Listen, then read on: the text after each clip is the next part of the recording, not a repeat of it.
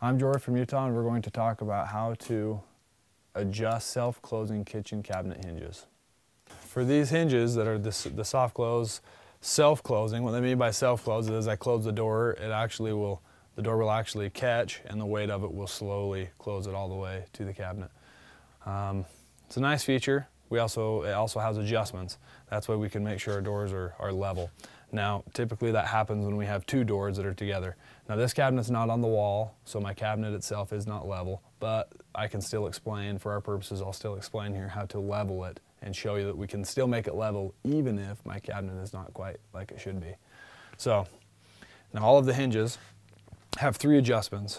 We have this one, which is going to allow us to go in or out, depending on how we need to this one, which is going to take us front and back as we need to, and then this middle one, which is going to take it up and down as it needs to go.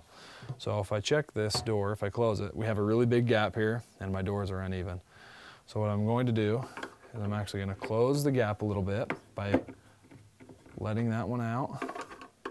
So as we change the adjustment, I first adjust the, the one that will take it in and out this way. On the second one, I do the one that goes front to back. On this one, this one's got a lot of flex in the door, both here as well as there on the bottom. So if I, if I were to adjust on that same hinge, this back one, it's going to, if I let that top side of that out, it would um, automatically push the bottom in, which would take care of the flex in the door. That way you, we can adjust our doors and angle them however we want them. So we can tilt them this way, up and down, as well as in and out, so we can get our doors level just by adjusting our hinge. I'm Jory from Utah, and we just talked about how to adjust self-closing kitchen cabinet hinges.